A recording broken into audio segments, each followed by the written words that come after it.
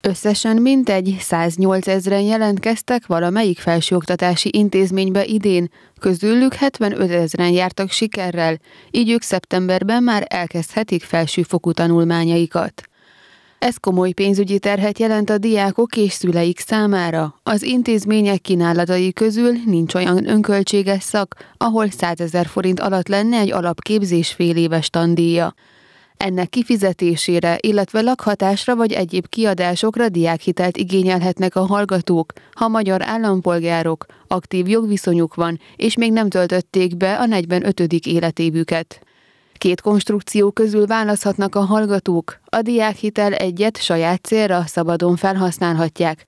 A diákhitel kettő ettől kötöttebb, csak önköltséges hallgatók igényelhetik. Itt a diákok nem kapják meg az igényelt összeget, hanem a diákhitel központ egyből az intézmény számlájára küldi. Ez azért is népszerű a diákok között, mert akár az 1 millió 350 ezer forintos orvosi képzéstandíját is hitelezi a központ. 2018. február 1-től több kedvezmény is életbe lépett a diákhitel konstrukciókban. A diákhitel egy felvehető összege már havonta 70 ezer forintra emelkedett, így egy szemeszterre maximum 350 ezer forintot igényelhetnek a hallgatók. Az idei tanév elején jóval nagyobb az érdeklődés a diákhitel iránt a korábbi évekhez képest. Ez a számos pozitív változásnak is köszönhető.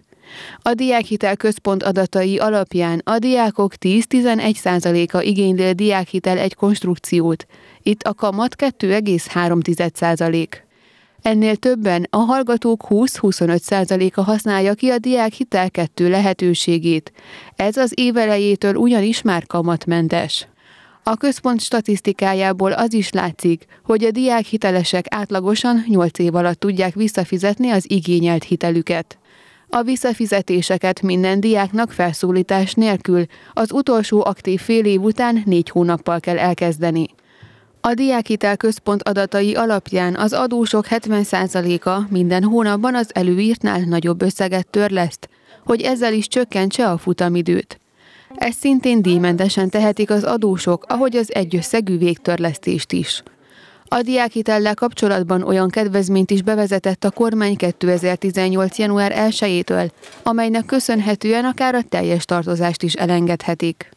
A diákhitellel tartozó nők a 2018. január 1-ét követően születendő gyermekekre tekintettel kérhetik törlesztésük felfüggesztését, már a várandóság harmadik hónapját követően. A kedvezmény örökbefogadott gyermekek esetén is érvényesíthető. Ha szabad felhasználású és kötött felhasználású diákhitele is van az egykori diáknak, akkor a törlesztési kötelezettség szüneteltetése mindkét hiteltartozás esetén jár. További kedvezmény még, hogy a törlesztés szüneteltetés ideje alatt a kamat terheket átvállalja az állam, így ez idő alatt a tartozás nem nő. A diákhitel tartozás felét azoknál a nőknél engedik el, akiknek 2018. január 1-ét követően születik a második gyermekük.